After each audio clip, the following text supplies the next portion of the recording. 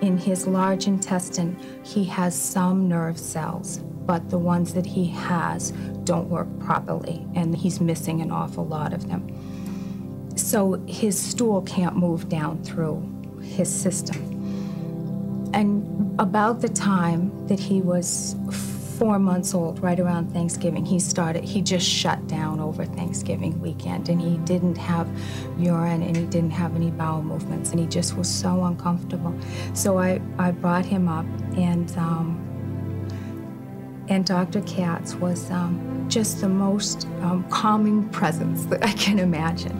And I just literally handed Paul Henry to him and I felt like for good or for bad, this is honestly where we're supposed to be.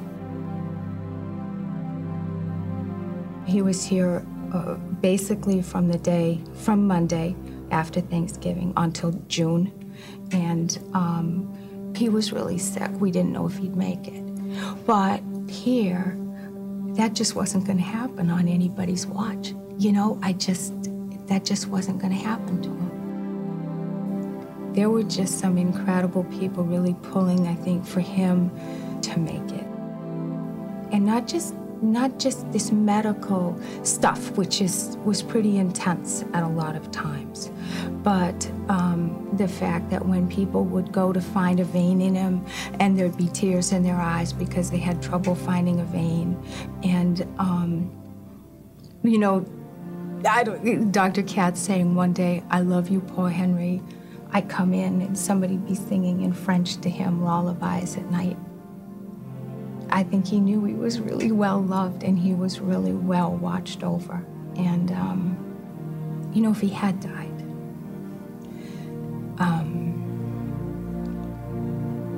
somebody was holding him.